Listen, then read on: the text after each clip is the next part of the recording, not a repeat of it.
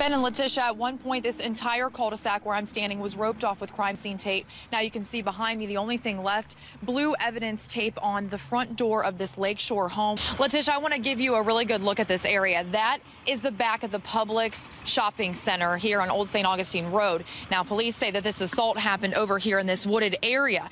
I spoke to our crime and safety expert who says that there's a key detail in this case that could help police find the person responsible for this sexual assault.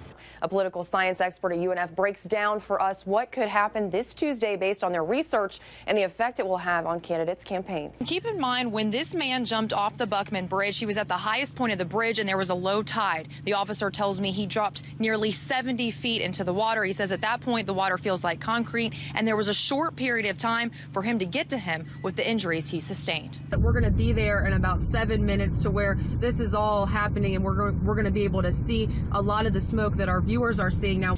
John, this is what we've been showing everyone for the last two days. You can see that there is still a police presence here at the home. The FHP report says that the truck came through the yard you see behind me and actually hit this van that I'm standing behind. You can see right here all of the damage it caused to this van when it pushed it into the home, creating that hole right there. The driver of the truck then ended up right here at the corner. That standstill that you're talking about, you can see it right behind me. Miles of traffic that is backed up on 95 North. I want you to take a look over here. This is a deputy right here that's blocking this ramp onto 95 North. This is International Golf Parkway right here where all these cars are. Now, further down is where we were able to get video of that crash. John, there are two homes down this road and to the left. Now, there's only one way to get to and from those homes on this railroad track. And if there's a train that's stopped there, that means that they have to just wait until it decides to leave. You can see a lot of smoke that's um, pretty visible right behind me right now. You can see drivers creeping through. They're actually having to um, get some assistance from Highway Patrol to get down State Road 19. Yeah, we were on our way over to this neighborhood, and I got an anonymous tip that there was a lot of police activity over here. And I want to show you what's happened in the last 30 minutes. This uh, crime scene tape right here has gone up to block the entrance of the home. I spoke to her father, who says that both his wife and his daughter were shot twice. He says his daughter's injuries were much worse than his wife's because she was shot in her leg and her abdomen, which is why she's still here at the hospital.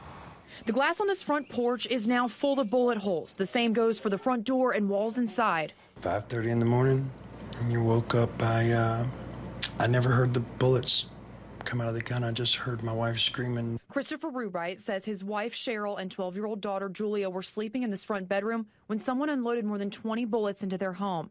He says his wife was screaming that his daughter had been shot before realizing that she also had been hit too. We got him to the floor in the next bedroom, you know, I ran outside to look for a car. But Rubright says whoever shot at the home had already taken off and we were there early Sunday morning as police worked the scene. Yellow markers scattered everywhere, just showing how many shell casings were left behind. Rubright says his wife has already been released from the hospital, but is staying with her daughter, whose injuries were much more serious.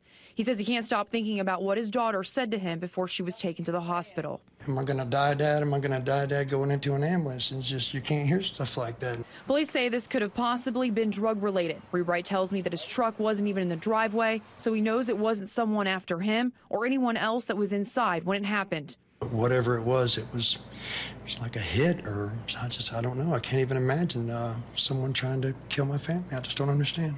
Rubright says as for his house on Hilly Road, it is no longer safe and considered a home that his girls will ever come back to. They won't step foot in this house again. This is over. I feel for your safety just standing in my living room right now. Rubright tells me that his son and his one and a half year old grandson were both in the house during that shooting, and neither of them were injured. As for his daughter, he says that she will be released from UF Health in the next week. Reporting from UF Health, Katie McKee, CBS 47, Action News Jax.